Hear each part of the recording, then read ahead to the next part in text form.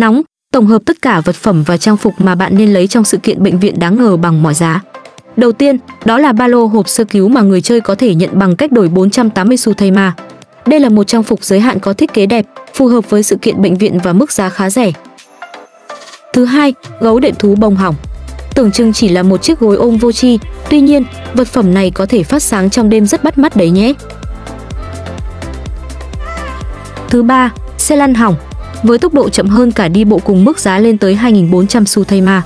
Đây là vật phẩm giới hạn của sự kiện lần này và mình nghĩ mọi người nên lấy để có thể vui chơi cùng đứa bạn thân hay quay những trên top top đấy. Và sau khi hoàn thành cửa hàng bệnh viện đáng ngờ, chúng ta sẽ nhận được toàn bộ trang phục và vật phẩm của cảnh sát Rosa. Mọi người thấy trang phục này có ngầu không nào?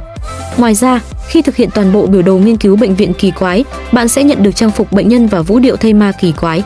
Thay vì phải tới bệnh viện như trước, giờ đây bạn có thể mang áo bệnh nhân ở mọi nơi trên đảo Kaya, thật thú vị phải không nào? Cuối cùng, đừng quên điểm danh đủ 7 ngày để nhận được các vật phẩm giới hạn trong sự kiện lần này nhé. Vậy bạn thấy sao về sự kiện bệnh viện kỳ quái lần này? Hãy để lại ý kiến của mình dưới phần bình luận nhé. Chúc các bạn chơi vui!